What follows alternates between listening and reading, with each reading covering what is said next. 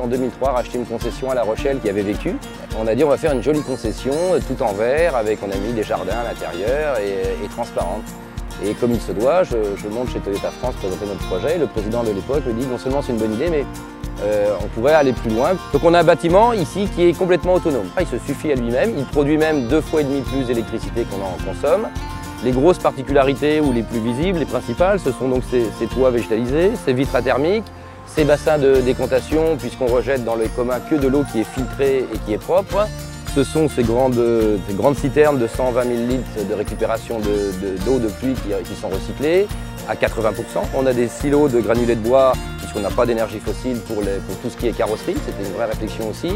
Nous avons donc des, puits canadiens pour l'apport calorifique, le chauffage du bâtiment, des bâtiments euh, l'hiver. L'air du bâtiment qui est recyclé, nous avons nos ateliers à 80%, à 90% même, et les 10% restants, ils sont rejetés dans le petit jardin qui est derrière, qui absorbe les 10% de CO2 restants. C'est un bâtiment, si on avait fait une concession standard à l'époque, normale telle qu'elle se faisait, il a coûté 18% de plus.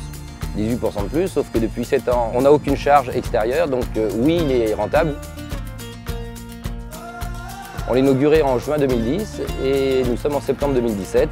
Donc c'est facile de faire un plan, un, bilan, parce que souvent quand on parle d'idées neuves, c'est pour, le futur, mais c'est rare de faire un retour en arrière. Tout ce qu'on a pensé était des choses simples et pragmatiques. Et tout a bien fonctionné, donc euh, on a eu raison de le faire. voilà, l'hybride aujourd'hui c'est rentré dans les mœurs. Hein. Certains constructeurs, dont Toyota, sont en train d'annoncer la fin des moteurs thermiques. Il va y avoir une petite transition euh, électrique, on l'avenir pour les camions qui passent devant nous et les voitures et les transports en commun et tout ce qui est lourd, c'est l'hydrogène.